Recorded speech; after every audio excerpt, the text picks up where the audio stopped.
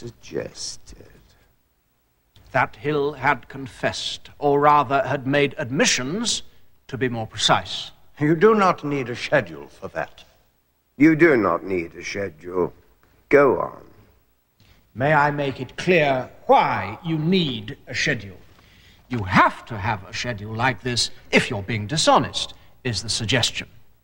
Sir, this is a blueprint for a completely false case to be put forward by the police witnesses of the trial. That is right. And it successfully hoodwinked everybody. Mr. Reed, just coming back to you, what is this entry all about? Well, I, I can't tell you. Not at the moment. Your position, then, in charge of the inquiry, was this, was it not? That it was all very properly handled. Is that right? Yes. No violence, no intimidation, no threats, no guns, no dogs, nothing. That is right. All done according to the book. Yes. So it appeared as though you got six men, giving you a lot of detail in some cases, though not much in others, as to one, their movements, and two, the fact that they had done it. That is right, yes. But The detail dries up when it comes to the actual planting of the bombs, does it not? In the statements? There's not much in these statements about. Uh, very little, no. So, as the officer in charge. To which ground of appeal is this directed? They don't seem to be very interested in the planting, do I get the impression the judges are interrupting the defense barristers rather more than they're troubling the crown. Perhaps there's too many people watching. In my experience, when the British own up to a mistake, they prefer to do it in private. You must hope for a miracle.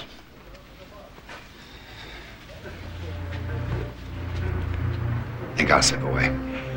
Still the forensics, Chris. They can't get around that. We'll see.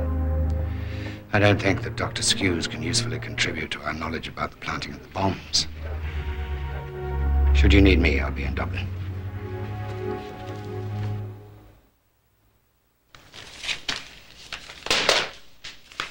We're walking out of here. I know it. It's the Irish Times, Jerry. They believe we're innocent. Tell him, Gareth. Jerry thinks he's going home. Maybe he's right. The policewoman, Joyce Lynas, is going to change her evidence. I answered the phone. I don't usually give my name and number when I answer. The person on the other end said, Is that Mrs. Lynas? I said, Yes. He said, Don't forget you have children. Did you say anything? I asked who it was, and there was no answer. When you appeared before their lordships last week, did you tell this court all the evidence which you could have given? No, Why did you not? I was too frightened to. What did you omit to tell this court on the last occasion? That there were armed officers with guns in the cell block area. On one occasion, when I went to one of the interview rooms upstairs, I saw one of the defendants being assaulted. What did you see? When the door was opened, one of the defendants was standing up. There were at least three officers in the room. There was one in front of the man and one on either side. As the door opened, one of the officers said something and then kneed the man in the groin while the other two held his arms.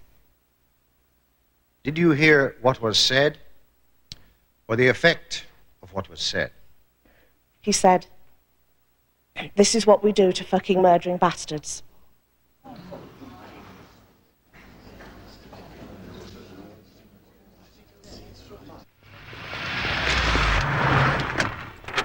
Forensics. Everything you could possibly need.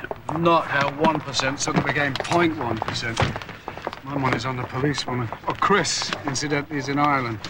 Stand by for a last minute appearance by the Lone Ranger.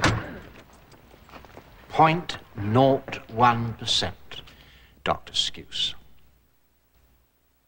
Dr. Skuse, 1% is in the letter sent by the director of the laboratory to the World in Action scientists.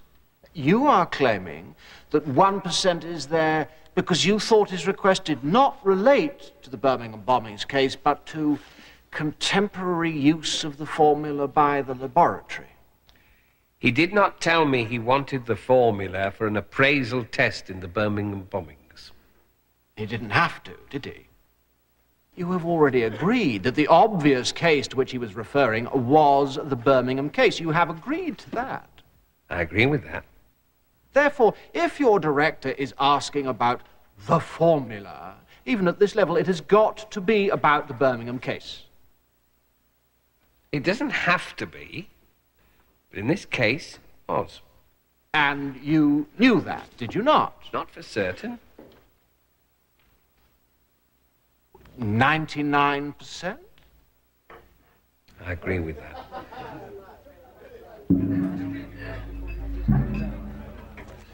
There's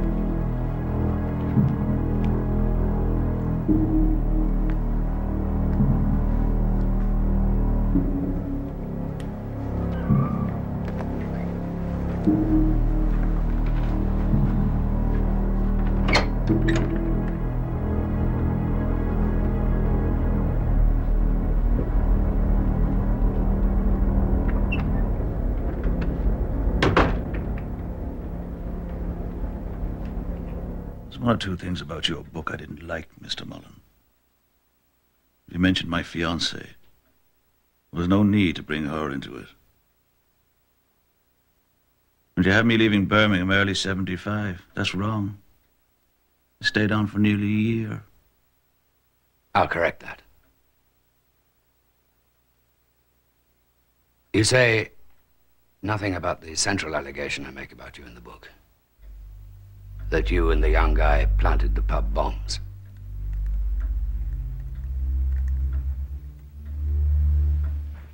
We could talk about it in the third person if it would help. Or if you want to deny it, I'll solemnly write down everything you say and publish it. But I would have to state I don't believe you. The phones were checked at four o'clock. Collected the bombs at 7.30 from the adjutant's house, Bordesley Green, 23 Carlton Street. He walked into town, gave the young guy the gun. He bought the drinks at the tavern. You bought them at the Mulberry Bush. After the planting, the young guy went home. You walked down Digbeth, rendezvoused with the maker. When he went to ring the warning, the phone was broken. Both of them. Finally got through just after eight. Minutes later, the first bomb exploded. Three minutes later, the second one went off. The six couldn't tell the police where the bombs were planted because they didn't know. You do.